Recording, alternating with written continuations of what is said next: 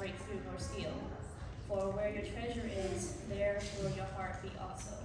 May the Lord add a rich blessing to the reading and hearing of his word.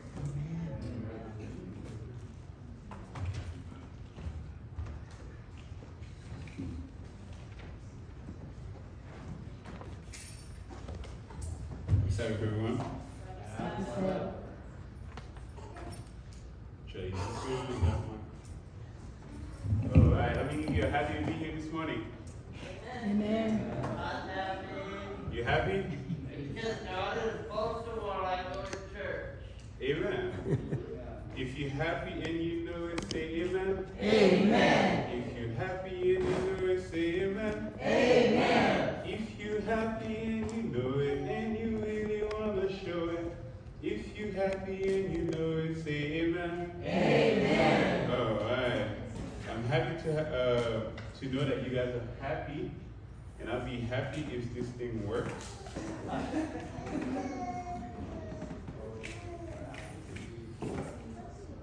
right, let's go and pray while Brother, Brother Dave um, does what he does best. All right, let's go ahead and pray.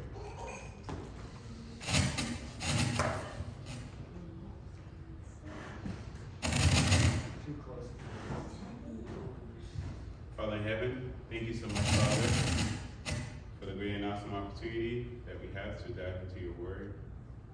Lord, we ask for your spirit to come and, and take control. Please speak to our hearts, Father. Please speak through me. Uh, make me a nail on the wall, Father, and hang a portrait of your Son, that all may be drawn to him. We pray in Jesus' name. Amen. Amen. All right. I don't think this thing is working.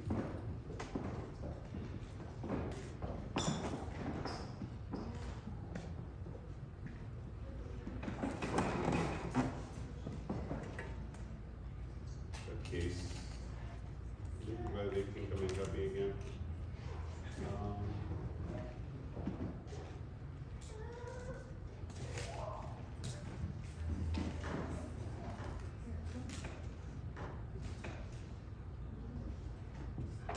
Clean your driveway in under all right, praise the Lord.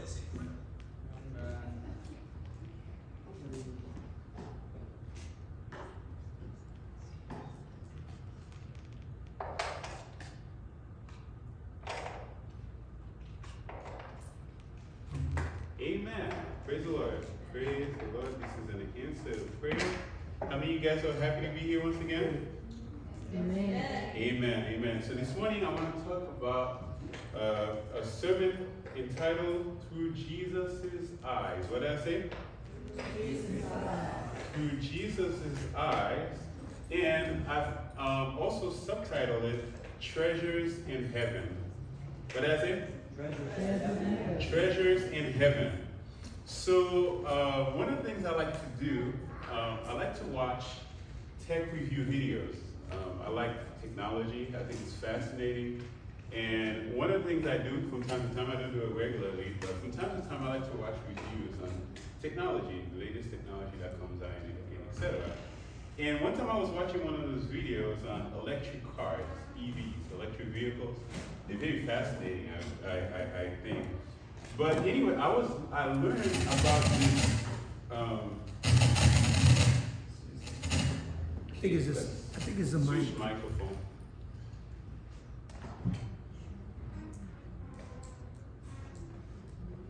Sorry. All right, let's go ahead and use this one.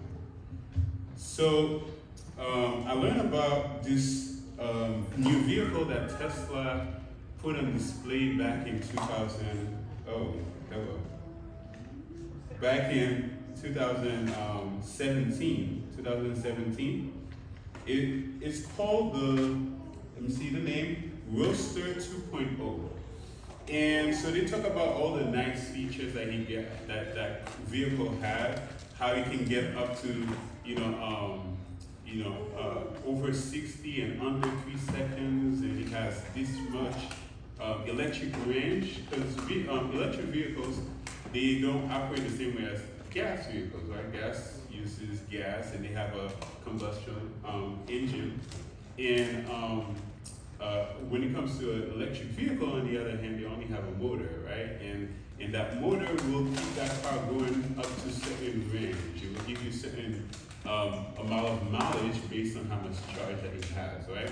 And it gives you all these features, and and um, they end up telling the people that were present there, like, if you want one of those cars, you um, all you have to do is wire transfer two hundred and forty-five thousand dollars to Tesla to be first in line to receive the car, right? And a lot of people who were eager to get their hands on that fancy vehicle, that super, super powerful electric vehicle, went ahead and did that. And today we, is 2022, June, June 25. And you know, you want to hear something sad? That they still have not received the vehicle until today. And the point, the, what I found really fascinating was the point that, that that gentleman made. The point that he made was that if those same individuals had taken that $245,000, which is a quarter of a million dollars, by the way, if they had taken it and invested instead in Tesla stocks, it would be worth today more than $4 million. So you know, they give um, Tesla pretty much a, a, a, a interest-free loan when they could have invested, right? They wanted to invest in a car or buy a car because you can't really invest in a car because the minute you walk off the parking lot, it's going down in value, right? An investment is is when you essentially put money into something expecting a return, right? How many of you have ever invested in something before? Right? And it's not just money, sometimes we invest in relationships, right? We, we put our time and our energies and our emotions into the relationship expecting something good in return, right? Expecting maybe a wife or a husband or a best friend for life, a BFF, right? And so a lot of times when we invest, we expecting a return, right? Jesus talked about investment in the book of Matthew. Matthew uh, chapter 5 to 7 is where we find what we know as what? Well, the whole the whole three chapters, what do they sum up of? The Sermon on the Mount, right? The Sermon um, on the Mount, I believe, is three of the most important chapters in all of the Bible. And, you know, I would not like this option, but if I had to take only three chapters, I probably would pick them. I really would. It's three of my favorite chapters, not my three most favorite chapters in all of Scripture. And we're going to pick up in verse 19, 19 to 21. It's a very familiar text. And I'm going to read it for you from the New American Standard Bible. When you get there, please let me know by saying amen. Matthew chapter 6, reading verses 19 to 21. Are you there? Amen? amen? All right, the Bible says, Do not store up for yourselves treasure where? On earth. It says, where moth and rust does, does what? Corrupt. The King James Version says, the NASB says destroy. It says, in where tears break in in what? And still, but store up for yourself treasure where? In heaven, because in heaven neither moth nor rust destroys, and where thieves do not break in or steal. For where your treasure is, there will your heart be also. So let me ask you a question. So according to Jesus, is it wrong to store up treasures? Is it a bad idea to store things, store treasures? Is it a bad idea? No, right? The answer is no. It's not a bad idea to store up treasure. What Jesus is saying is, it's a bad idea to store treasures where? On earth. Because when you store treasures on earth, we can expect one of three to four things to, to happen to it. A lot of bad things can happen to it, right? If we invest in cloth, you know what will happen to it? It will get destroyed by moth, right? Look at this beautiful sweater that used to be very, um, very evenly spread out, you know, really nice, probably something I would wear. But do you notice all those holes in there? So a lot of people invest their money in clothes. I remember growing up, I had a friend, he collect sneakers. I did that too, um, but I repented since. But he collect those um, those uh, Nike sneakers, and then I remember back in those days, back, that was back when I was a teenager. I'm probably gonna reveal my age here, but we would wear matching hat, matching um, um, t-shirts, and matching sneakers. They all had to match, and we don't wear it twice the same week, you know. So on, on Monday we wear the blue shirt and the blue sneakers and the blue hat, right? And then we would change it up. My friend had way more than that day. He had literally a stack that was probably this long or longer in this house of sneaker boxes, right? All the sneakers were in the original Nike box, and he put a drape over it, right? And some of them cost as much. I think the most expensive one he had was three hundred dollars, right? Um, that was back in two thousand three, by the way. That was, you know, it's not. I, I don't know how if three three hundred dollars is still a lot of money, but back then it was a lot of money for a sneaker, right? And you know, and but is that the best investment he could make with his money? I mean, he had like a, a good three thousand plus dollars sitting in his bedroom, right? And um, I, let me tell you when, how the Lord um, got that habit out of me. By the way, I used to collect those sneakers too, ninety dollars, one hundred fifty plus, and etc. So one time I had spent ninety bucks on a sneaker, which was a lot of money for me back then because I had just gotten a job. I was about eighteen years old, and I bought the sneaker, and I went to my church, you know, for vespers that night. And um, the, the head deacon asked me to help him with this gate that was falling apart, right? It's a wire, uh, it's a chain link um, fence gate. You guys know what I'm talking about? And you know what they have at the bottom?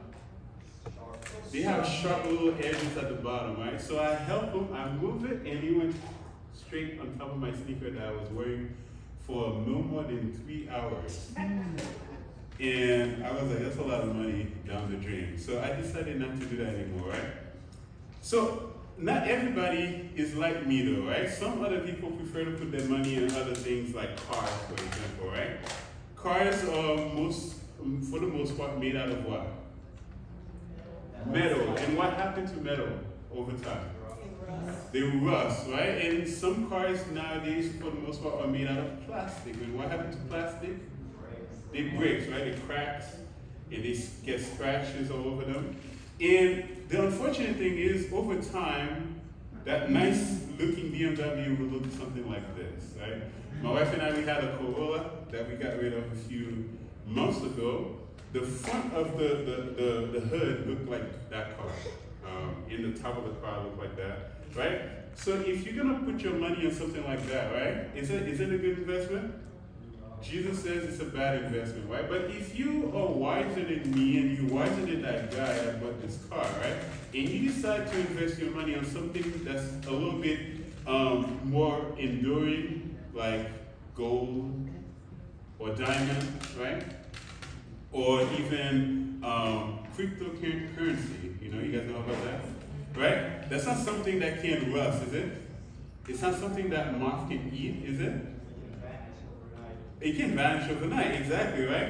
So the next warning Jesus gave us is that if it doesn't rust and if it doesn't get eaten, thieves will may break in and steal it, right? So it doesn't have to be even something physical. There are cyber thieves, you know that? People can literally go into your bank account electronically and take all the money out and transfer it to their account, right? And so Jesus has no problem with us storing up treasures the only thing he's telling us, be careful where we store them, right? And he continued on to say, where we store our treasures, what's, what's going to happen to our hearts?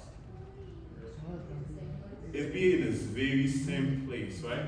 So now let me ask you a question. Does Jesus care about our happiness? If he did not, he would not mention that part, right? So in other words, there's a principle in scripture, right, that we find here. The principle is that whatever your treasure is, your heart will follow. Does that make sense? So if your treasure is sneakers, guess what? Your heart will follow, right? So when I scratched my $90 sneakers, you know what happened to my heart?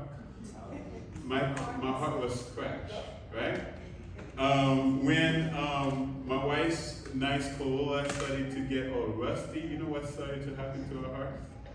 Started to get all, a little sad. It's like, you know, a nice little car. Um, I believe it was the sun, by the way, Arkansas sun that really burned it up. But anyway, that's a whole other topic for another time. but you understand what I'm saying? Your heart, your affection, whatever you, you treasure, your affections will go wherever it goes, right? So Jesus says, don't lay treasures on earth where it's very, very unsafe to store them. Store them in heaven, right? So, how many places can we store our treasures? Two. Heaven or earth? On earth, it's unsafe. In heaven, it is safe, right? It is safe. Well, it's not just safer, it is safe, right? No thief can steal it, no moth can eat it, no rust can corrupt or destroy it, right? And and the other thing to keep in mind is this. So if if I wanted to know what it is like to live in Haiti, I'm from Haiti. I was born and raised in Haiti.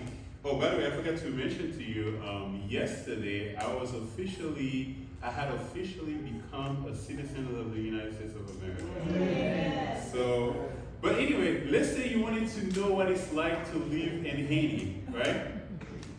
Who better in this room would you ask how it's like? You. Me. Why? You. I was born and raised there, right? Now, let's say you want to know what it's like to live in Washington State. Oh, I know what time. It's rainy all the time, and it turned out trees in the storm. Okay, so you've been there, I suppose. I lived there for five years. There you go. You see, so so Jesus is telling us to lay up treasures in heaven in place of earth. What gives him the credibility to be able to say that, other than the fact that he's God? You know why? He's been in both places, hasn't he? He lived on earth for 33 and a half years, and he lived in heaven his whole entire life, right? So if anybody can tell you which place is the best place to store up your treasure, there's nobody better than Jesus himself. Amen? You know, um, I watch a lot of videos that, you know, of people telling you the best place to raise your family or the best place to go if you want to start a business or whatnot. And a lot of those um, videos, people are basing their opinion upon things that they found on the internet, right? Which isn't bad, right? The internet is a good place sometimes, right? And none of them are necessarily speaking from experience because not all of us has the opportunity or ability to travel everywhere and live everywhere long enough to be able to tell people which one is the best one. Does that make sense? But Jesus, on the other hand, he has. He lived on earth and he lived in heaven. He knows which place is the best place to store treasures. Now, the question is, how can we lay up treasures in heaven? Have any of you been there? Can you mail it there, you know, like put it in a Walmart shipping box and you put it in there and you put a stamp on it and you send it with Gabriel? Can you do that? So how can you do that, right? Because we can't physically go there, can we? And what exactly are we able to store up in heaven, right? Can, can you store anything that you want in a bank? Not usually, right? Typically, a bank you can store up money there, right? Because they that's what they that's what they're there for. They exist to help people save their money, right? So now imagine you have somebody that lives in your house, right? And that person decided that they're gonna start collecting bones, and they wanna store it no other place than in your fridge. How many of you would be okay with that? Nobody? Okay? Okay, let's say um, that person wants to collect antique cars, right? Cars from 1909. And they want to rebuild them. Was that cars in 1909? Okay, okay, that's not important. So let's say they want to collect all those antique cars and rebuild them, right? And then all of a sudden, your front yard and backyard become a junkyard, right? How many of you would be okay with that? No, right? Because the reality is now, now, let's say you were just like them, right? You love antique cars and you collect them as well, right? And they want to store their antique cars in your backyard. Are you okay with that? Do you think you'd be okay with that? I would. Yeah, you would because you collect the same thing, right? You put the same amount of value they put on it as they do. Does that make sense? So, if we're gonna be putting treasures in heaven, right? We must be putting um, things that heaven see as valuable. Does that make sense? Does that make sense? Because guess what? I mean, if I if you put a bone in my fridge, you know what's gonna happen to it? It's gonna be in the trash. It's not gonna be in my fridge because I don't want no bones in my fridge. You understand me? So, huh? I'll give it to Duke. Yeah, we have a giant dog that will be devoured in minutes. And but you know, if if if if you put something that I value, like let's say you put some vegan ice cream in there, yeah, it probably won't be there, but it won't be it won't be missing for the wrong reason. You understand what I'm saying? Because I, I like it too. So to determine um, what to put in heaven, we must see it from the perspective of someone who lives there, right? You know, Jesus, we are told, is heaven all in one gift. And notice what Jesus says about the way we esteem or value things in contrast to the way that God does. Notice this. This is Luke chapter 16, verse 15. Um, it says, That which is what? Highly esteemed. What's another word for highly esteemed? Very important, or what did he say? Valuable. Yeah, something that you put a lot of value on. It says, That which is highly esteemed among men is what? An abomination in the sight of God, right? So, what is that text saying? So, a lot of things that we place a lot of value upon are the things that um, God detests, things that God has absolutely no regard for, right? You know, like whether it's the praise of men or fame or fortune or big houses and whatever, these are things that are highly esteemed among men, right?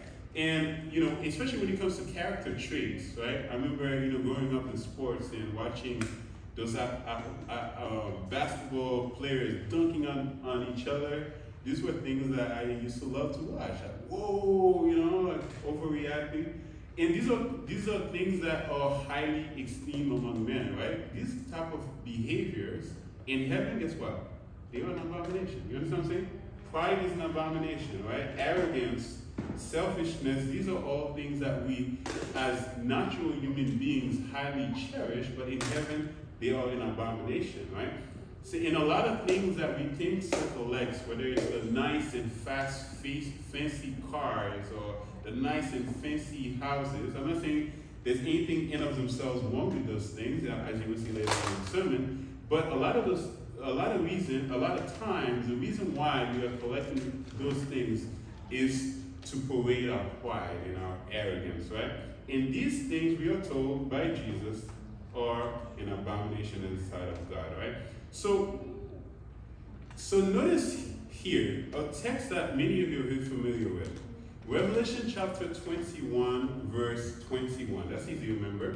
Revelation 21, 21. It says, um,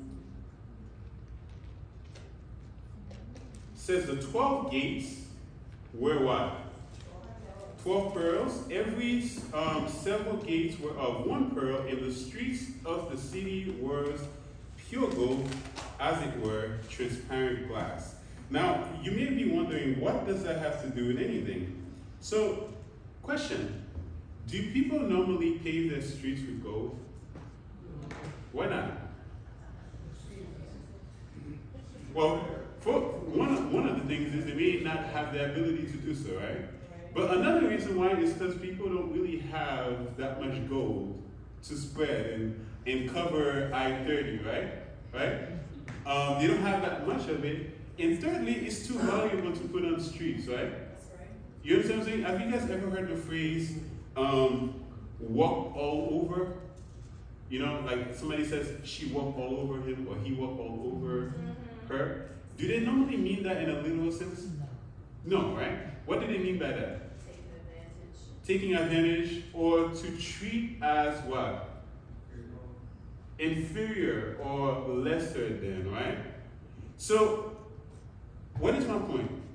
Could it be possible? Okay, question. Do you think Jesus is going to pave his streets with gold to parade his pride?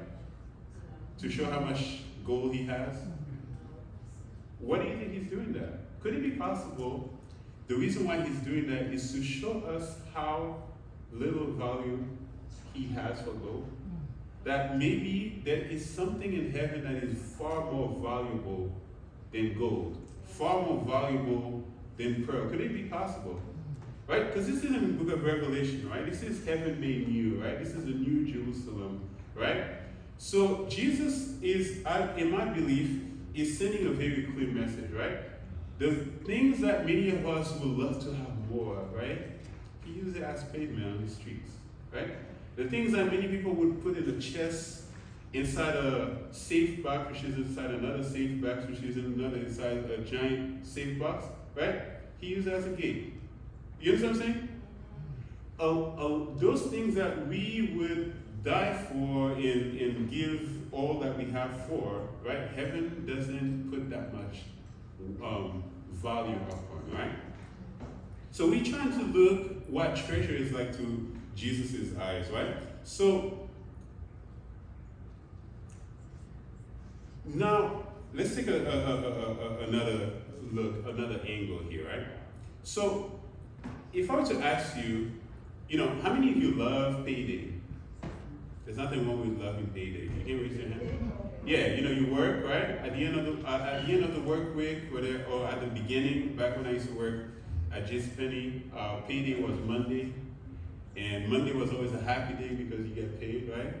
Except for when you get paid after taking off a lot of time off work. Have you guys ever had that? Were you excited that you get to go home early? I, I mean, you, can you relate? Right? Until payday comes, you're like, oh, only made one hundred dollars this week, right? because I only work a few hours. But anyway, we typically rejoice when we receive something that we value. Does that make sense? Is it wrong to value money, by the way? Am I saying it's wrong? Is Jesus saying it's wrong? No, right? But it depends on what kind of value you put on it, right? Everything has a price. Everything has amount of worth associated with it, right? We just gotta put the right one, right? So, what do you think in heaven brings a lot of joy to people that dwell there? What do you think? I'll tell you. Luke chapter 15. In Luke chapter 15, Jesus gave us three parables. Three parables. You have the parable of the lost. Anybody help me out, please? The parable of the lost sheep, okay? And then you have the second one, the parable of the lost coin. And the last one is the parable of the lost sons, plural, right? There was two sons that were lost. Most of us only emphasize on the one that was obviously lost, but both of them were, right? And what I like about that story is how Jesus ended each parable, right?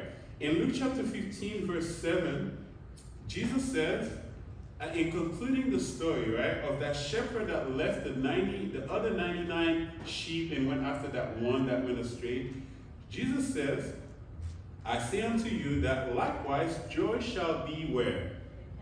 In heaven over one sinner that repented more than over 90 and 9 just person which needed no repentance, right? So what happened when one person come back or come into the kingdom of heaven by faith? What happened in heaven? There's a great joy, right? There's, if you look further down, you'll find that there's a big party, right? And heaven go all out to that party, right? Notice what verse 10 says after the uh, parable of the lost coin. It says, Likewise I say unto you, there is joy in the presence of the angels of God over one sinner that repented. And at the end of that story, right, when that son came back and repented, right, and said, Father, uh, make me as one of your highest servants, which he never got to say. That's a whole other sermon altogether, right? But notice how Jesus concluded it. He says, But the father said unto his servants, Bring forth what? The best robe. Not just one of the robes. Bring the best one, right? And put it on him. Put a ring on his hand and shoes on his feet, and bring him the what? What which calf? The fatted one, the fattest one you could find, bring that one, right? And kill it and let us eat and let us be merry. For this my son was dead and is alive again. He was lost and is found, and they began to be merry, right? So when uh, um, someone is in a lost condition, according to um, Jesus, right, that person is seen as someone who is dead, right? So in other words, when someone that you love dearly died, is it is it something that you rejoice over? That's typically something that your heart breaks over, right? You get really sad about it, right? So that's how heaven feels when you and I are in a lost condition. Does that make sense? And when that flip, they rejoice like we are resurrected from the dead. Isn't that something? That can you imagine someone you love dearly come back to life? The By the way- that that he to buy the money to raise somebody from the dead. Okay, yeah. So if that were to happen, a lot of us would rejoice, right? We would celebrate, right?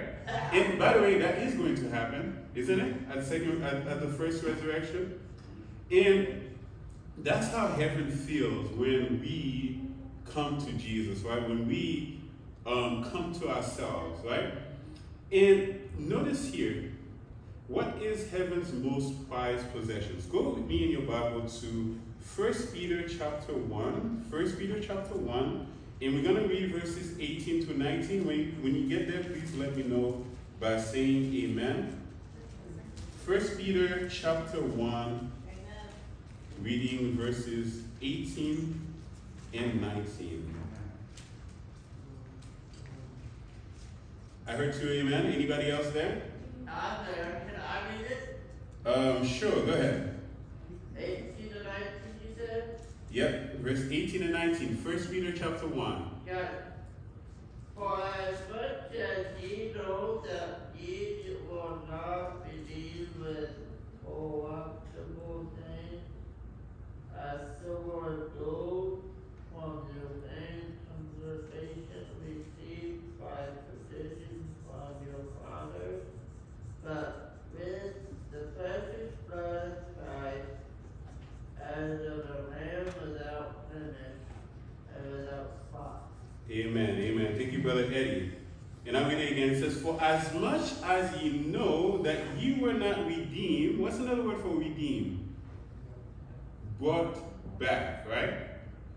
Um, imagine, you know, I live in, uh, in Haiti, we have a lot of kidnapping. And a lot of people have to be redeemed, literally, because they were kidnapped and they won't let them go until that price is paid, right? And we were taken captives too, once upon a time, right? We were taken captives by Satan, right? And Jesus had to buy us back, right? And you know, did Jesus come with two million dollars or two billion dollars? Did he come with a nice briefcase um, with a lock on it, right, to pay for our ransom? No, right? The Bible says we were not redeemed with corruptible things as silver and gold from your vain conversations received by traditions from your fathers, but with the precious blood of Christ as of a lamb without blemish and without spot, right? So, what did Jesus pay to buy us back? His blood, right? So, if um, if I were to ask you how um, something is, uh, how value is based on something, what would you say the answer is? How is the value of a thing determined?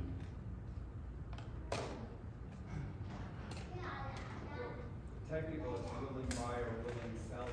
That's right, that's right. So in other words, the worth of something is determined by how much someone is willing to give for it. Like, you may not be willing to give that much for it, right? But if, as long as there's at least one person who's willing to pay that price, guess what? That's how much it's worth. Like, for, for example, that Roadster 2.0, to me, it's not worth $245,000. First of all, I don't have it. Secondly, that's a lot of money, right? And, but for some people, it's worth it, so much so that they literally wire transfer out of their bank account that amount to Elon Musk and his um, team, right? So the worth of something is determined by how much someone is willing to pay for it, right? So what is your worth to Jesus? Based on that, what is your worth to Jesus?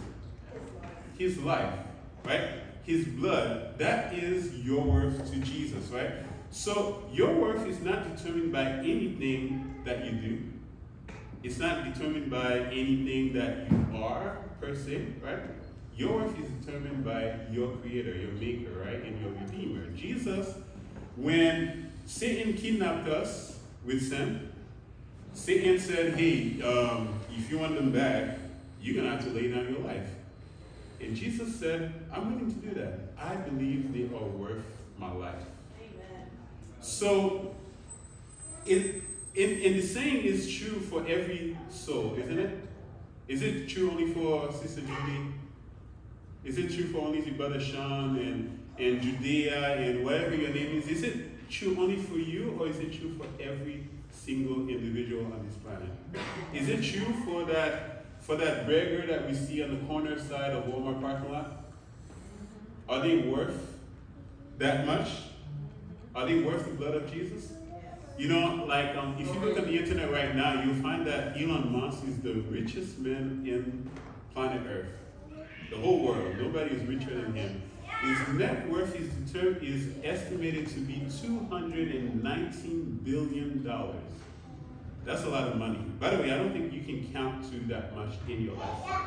If you were to count one by one, you cannot count to that much in your lifetime. Like, think on that one. Right? And interestingly enough, let me show you something. Um,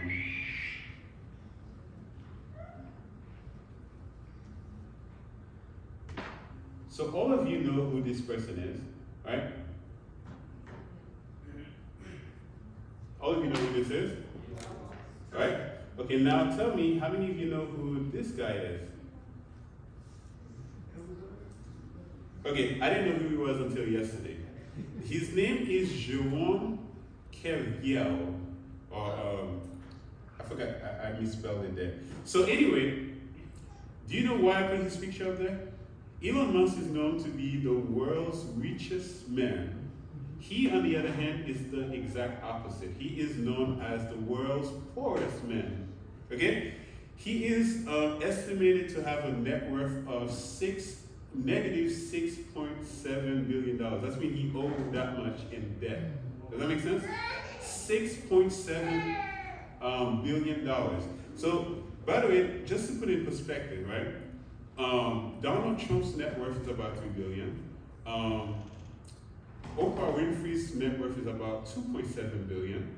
and Tyler Perry's net worth is about 1 billion, right? You combine all of them together, their wealth is less than this man's debt. Debt. Does that make sense? This man is poor, right? By the world standards. But according to Jesus, what is his worth in contrast to Elon Musk's um, worth? Anybody know? What is their worth? It's the same. Their worth is the blood of Jesus. Amen? And this is from Christ's Object Lessons, page 118, paragraph 2. It says the parable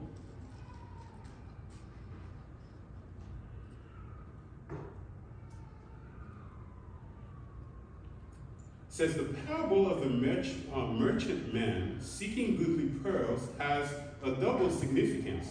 It applies not only to men as seeking the kingdom of heaven, but to Christ as seeking his lost inheritance. Notice what um, Spirit of Prophecy said is the worth or value of one soul. This is one of my favorite quotes from all of the Desire Ages. It's not, it's not my favorite. It says, one soul is of such value that in comparison with it, worlds sink into what? Insignificance, right? So when Jesus came to die for us, right, he did it for the whole world, but you know who he did it for specifically? He did it for you, right? Even if only one of us were to accept his sacrifice, Jesus would gladly do it. I have something here, and I need your help. I know some of you may not have the best vision, but how many of you can tell me what this is? A dollar. It's a $20 bill, right? So now let me ask you a question. Who determines how much this is worth? No, the name is on there. Who determines how much this is worth? Well, well, that's the president. The Federal Reserve, right? The United States Congress or the Treasury, they determine this to be worth 20 US dollars, right? Are you following? So how much is this worth? Twenty dollars. 20 billion, um, um, 20 dollars. I wish it was for 20 billion, right? Now let's say I wish to do this with it. Right? How much is it worth now? Zero. Vincent says zero. This is still worth twenty dollars, right? Okay, now let's say I were to do this to it. How much is it still worth? It's still worth twenty dollars, right? But why is it that so many of us have a hard time understanding that about ourselves? Does that make sense? No matter what Satan has done to you or to your to that man that we see begging on the corner of, of Walmart parking lot, guess what? They're still worth the same amount of price that Jesus paid for them, aren't they? Yes. And so, why am I saying all this? Why am I talking about the worth of a soul? Could it be possible that this is what true treasure looks like? Listen to this quote here. So, what are we able to store up in heaven? It says, A character formed according to the divine likeness is what? The only treasure that we can take from this world to the next. So, the only thing that you can take from this world and carry with you to the next is your character, right? So, when you think about it, um, based on that quote, what in your life is worth more than your character? Nothing, right? Nothing is worth more, right? Because guess what? If you have a $2 billion house, guess what? Can you take that with you in heaven? No, right? If you have a $4.2 billion million dollar car, can you take that with you in heaven? I think that's one of the most expensive cars in the world, right? The only thing that you can take with you is your character, right? But you know what else you can take with you in conjunction to that?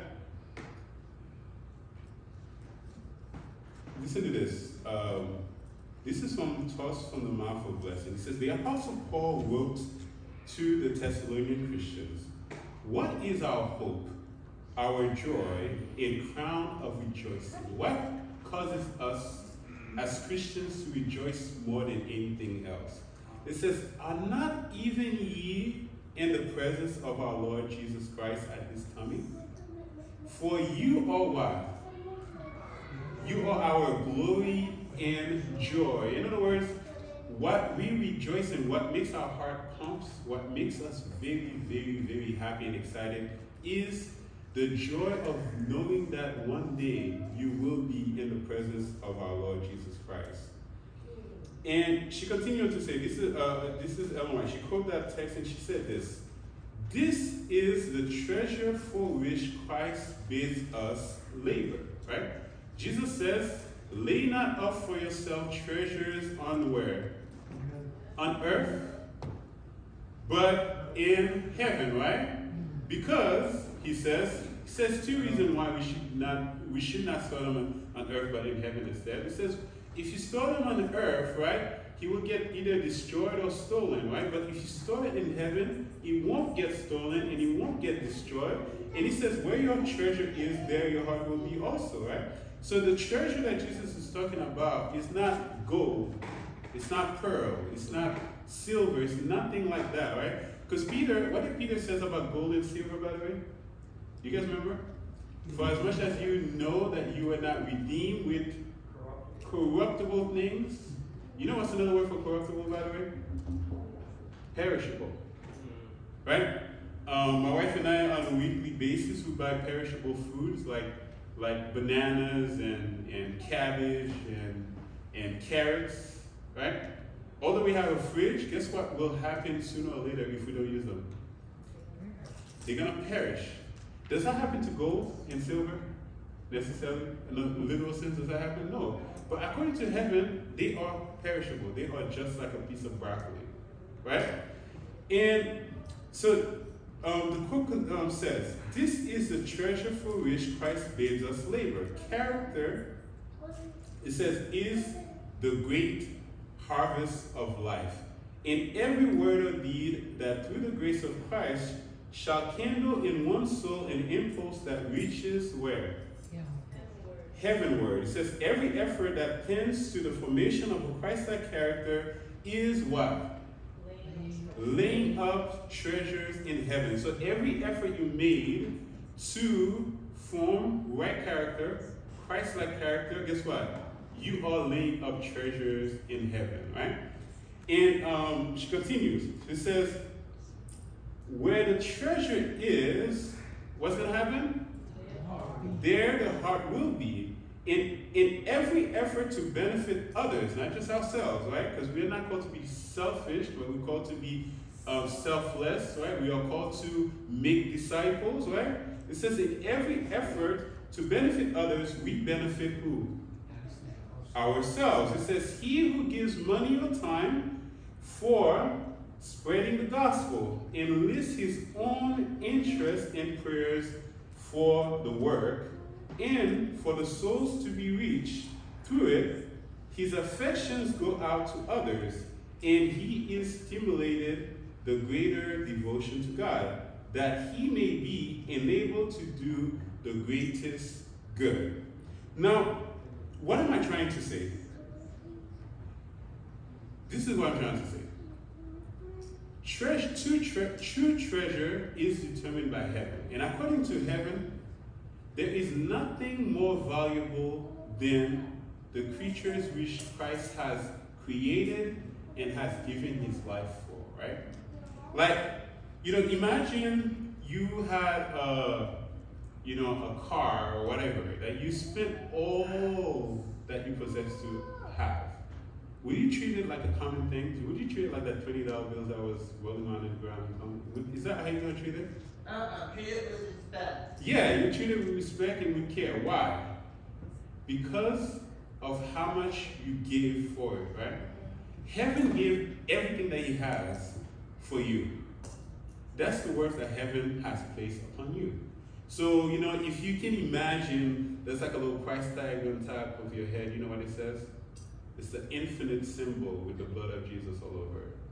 That's your worth. That's the worth of everyone that you come in contact with, right? So, um, and as I close, I want to share with you the story. So, there's this movie I once watched. If you want to know what it is, I'll tell you afterwards. It's actually something that I would not, uh, I would actually recommend. Is um, if you, you know, watch movies, uh, it's one of the best things you can watch. Um, it's a movie entitled um, Courageous. How many of you have ever seen that movie? Okay, it's one of my favorite, right? So what one I, one thing I remember from that movie, right? So in that at the beginning of the movie, there was this um, guy. He was coming. He was traveling, right? He, I think he was traveling back home, right? Um, he moved somewhere else and he was coming back home. And he, he stopped at this gas station to fill up with gas, right?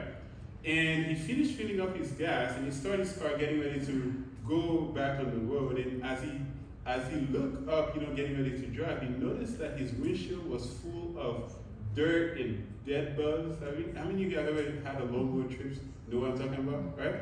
So his windshield is filled with dead bugs and dirt and mud and etc. Right? So he's like, okay, let me clean it. Let me clean it up a little bit, right? So he left his car. He um he walked out of his car and he went to the the sponge squeegee. You know, you guys what I'm talking about? That little thing that you use to clean the windshield. He got one of those, and as he pulled it out, he noticed there was no no fluid in there, right? There was no solution, no water, no soap whatsoever. So he decided to walk over to the next pump where he saw another squeegee, grab it, but as he's grabbing it, he looked behind him, a carjacker jumped into his car and drove off with it. And this man did the craziest thing you can imagine. You know what he did?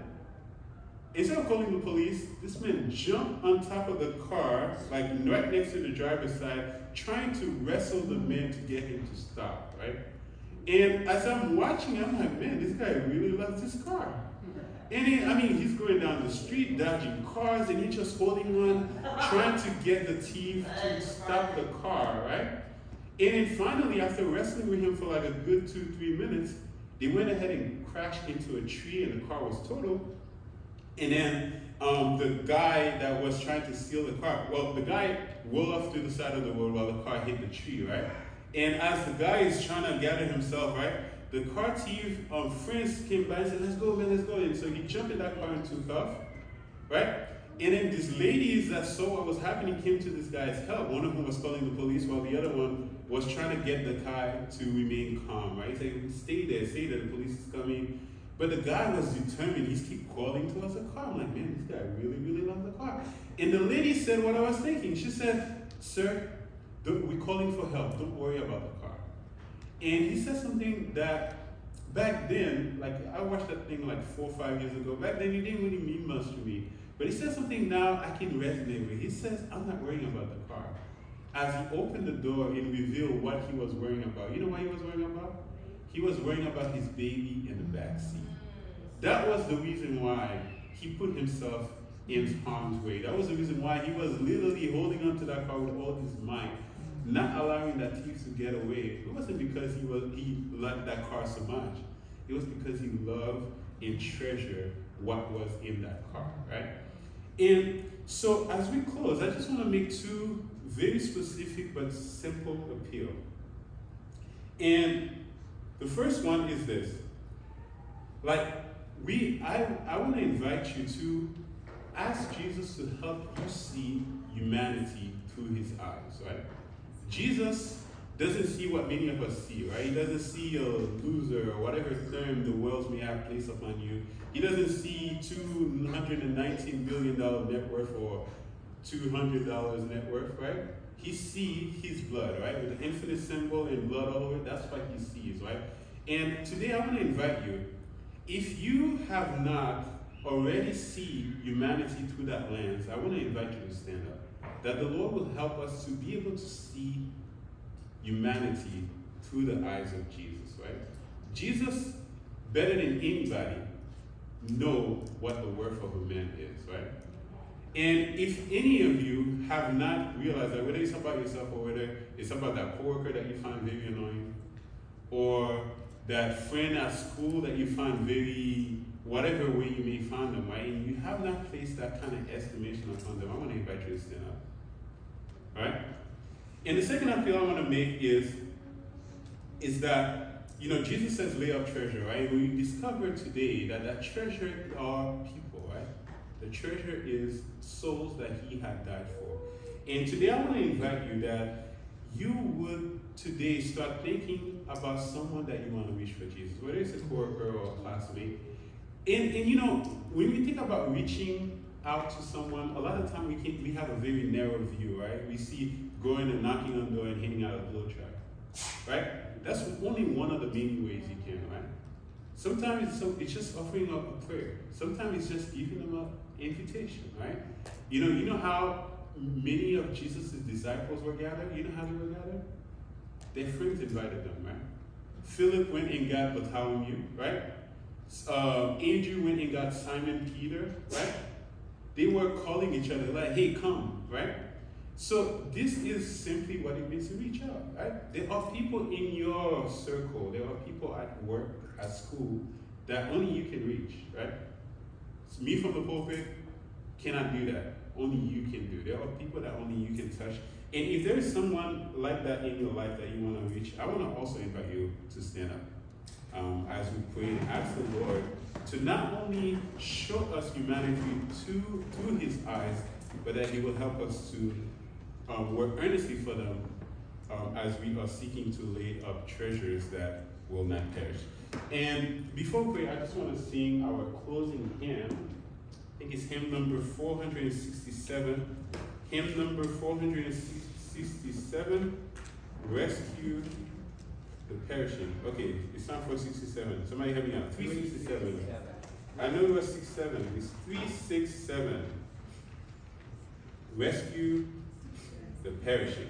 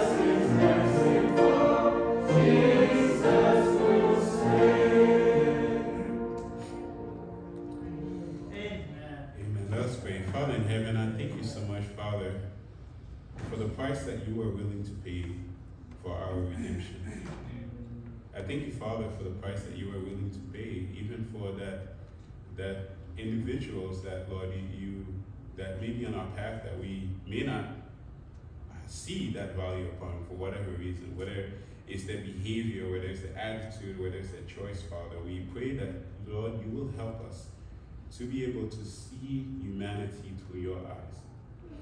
Even when humanity is in their mess, help us to see the infinite price you were willing to pay for them, even when they were in that condition, Lord. And help us, Father, to be willing to do whatever it takes on our parts to be able to reach those souls for you. Please forgive us, Father, for the many other opportunities we may have had to reach them. Help us, Lord, to repent and do our best, Father, trusting in you, trusting in your love, Father. You said, where our treasure is, there our hearts will be also. So we pray thee, Father, that you will help us to treasure souls as you do, so that our hearts can follow them. We pray in Jesus' name and for his sake. Amen. Amen. Thank you.